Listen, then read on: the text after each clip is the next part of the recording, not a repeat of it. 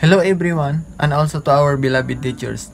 I'm Ronel Factor from Marine Engineering 3rd year. So for today's video, tuturuan ko kayo kung paano gumawa ng start and stop control relay using PLC ladder simulator to applications. At kung paano ito gumagana. So, ano pang hinihintay natin? Simulan na natin.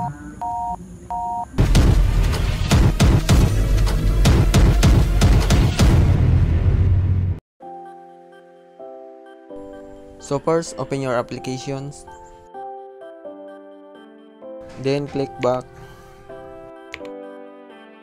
And then click new. So gawa lang tayo ng panibagong design.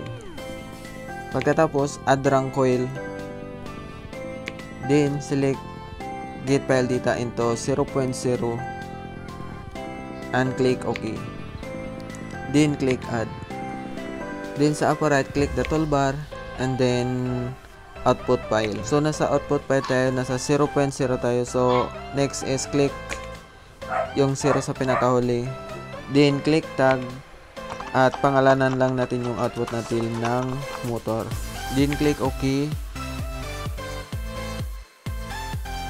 Then, save. So, pagkatapos, lagyan natin ang start button. Click normally open. Tapos, click file. So, ang kinalabasan nito, yung normally open button natin is magiging 1.0 then click add. So, ang gagawin naman natin ngayon ay maglalagay tayo ng stop control which is ito yung uh, normally close button. Then, i-input lang natin siya. Click file then select 1 So, ang kinalabas niya na is 1.0.1. Then, click add. So, pagkatapos niyan, lagyan lang natin ng pangalan yung start and stop control natin. Then, click lang natin yung 0 sa huli, yung katapat ng 1.0. Then, click tag. Tapos, pangalanan lang natin ito ng start. Then, save. So next yung stop control natin palitan din natin ng pangalan. Click lang natin yung nasa tapat ng once then click tag type stop. Then okay. Save. So next lalagyan natin ng maintaining contact. Oh, then click subroute. Then i-drag lang natin ito sa pinakali. So, ito na yung maintaining contact natin. Lagyan lang natin ulit ng normally open button.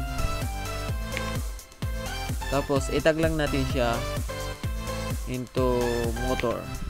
Kasi yung motor yung magiging source natin. Click OK and add. So, pagkatapos nyan, punta tayo sa left side, sa IO Manager. Tapos yung start and stop control button natin ay papalitan natin ng component type ng uh, post button. Click lang natin yung switch, click post button. Then save. Next ay sa stop control button naman tayo. Click natin yung switch, then post button, select and save ulit. So back tayo. So, ngayon naman, susubukan natin kung gagana yung ginawa natin. So, click lang natin yung play, then start natin. So, kung makikita nyo yung, yung motor natin na nasa left side ay gumagana. Stop lang natin. Ayun nga guys, successful yung ginawa natin. So, kita-kits tayo sa susunod na video na gagawin natin.